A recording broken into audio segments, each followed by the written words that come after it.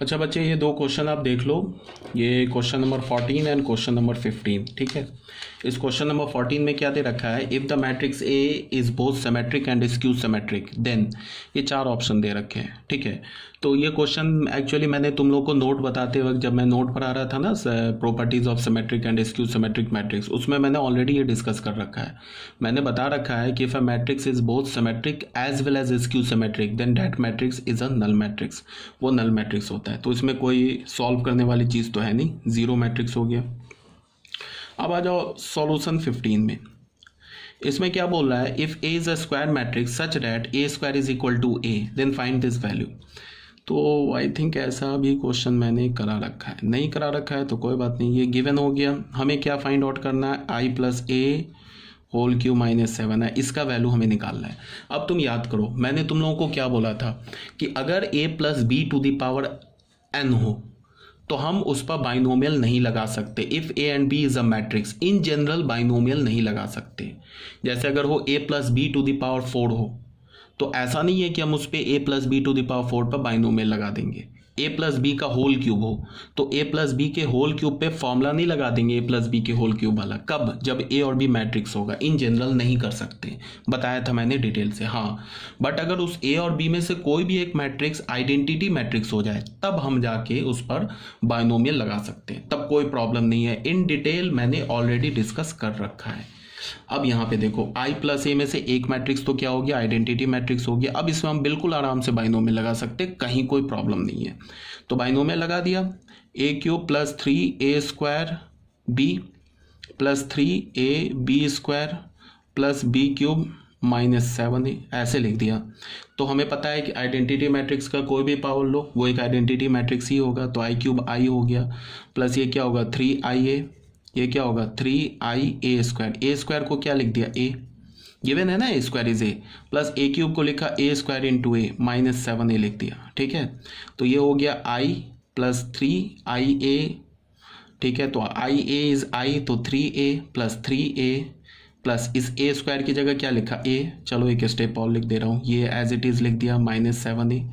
तो ये क्या हो गया? आई प्लस सिक्स ए और ये प्लस ए स्क्वायर तो ए स्क्वायर को फिर क्या लिख दिया? ए माइनस सेवन ए तो ये क्या हो गया? I plus seven A minus seven A तो ये दोनों कैंसिल हो के नल मैट्रिक्स तो दिस इज़ आई तो ऑप्शन सी इज़ करेक्ट तो बच्चे, ये मैंने क्वेश्चन नंबर फिफ्टीन भी करा दिया. तो देख लो मिसलेनियस एक्सरसाइज से मैंने कितने क्वेश्चंस करा दिए तुम लोगों को.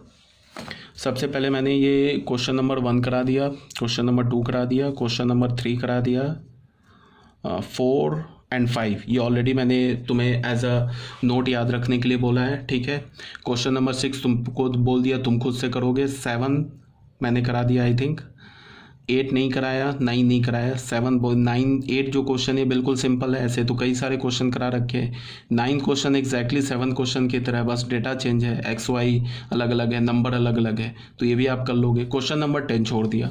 अब क्वेश्चन नंबर टेन में बहुत बच्चे बोलेंगे कि बहुत बड़ा क्वेश्चन है तो आपको कराना चाहिए तो ठीक है, करा दूँगा। तुम डाउट पूछ, एक बार मुझे तुम बोल देना कि मुझे नहीं समझ में आ रहा है, लिख के भेज देना। जब हम लोग की ऑनलाइन क्लास होगी, मैं करा दूँगा। ऐसा कुछ नहीं है, पढ़ो, उसमें बस दो मैट्रिक्स को मल्टीप्लाई करोगे आंसर आ जाएगा। ठीक है? क्वेश्चन नंबर इलेवन इस टाइप के क्वेश्चन ऑलरेडी मैंने कई सारे करा रखे हैं। क्वेश्चन नंबर ट्वेल्व करा दिया और ये थर्टीन फोर्टीन फिफ्टीन करा दिया। डाउट होगा क्वेश्चन नंबर टेन मुझसे पूछ लेना। मैं तुम्हें सॉल्व करके भेज दूँगा। अगर डाउट है तो किसी बच्चे को है। तो ये हमारा क्या हो गया? मैट्रिक्स का मिसलेनियस एक्सरसाइज भी हमारा कंप्लीट हो गया। तो अभी हमारे पास क्या क्या बचा हुआ है? देख लो बच्चे।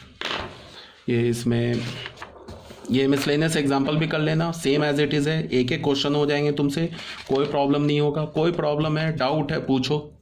थ्री पॉइंट फोर मुझे कराना है। ठीक है, अब इसके रिगार्डिंग थ्योरी मैंने नहीं बताया तुम्हें। और थ्री पॉइंट थ्री ये जो है ना थ्री पॉइंट थ्री ये तुम ऑलरेडी कर चुके हो। तुमने मैंने बोल रखा है तुम्हें करने का। तो 3.3 तुमने ऑलरेडी कर रखा है 3.2 भी कर रखा है 3.1 भी कर रखा है।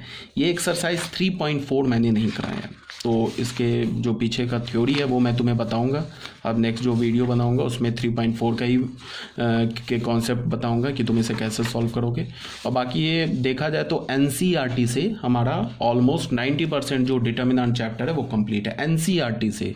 बट सॉरी डिटर्मिनाट नहीं मैट्रिक्स चैप्टर कंप्लीट है। किससे? एन से।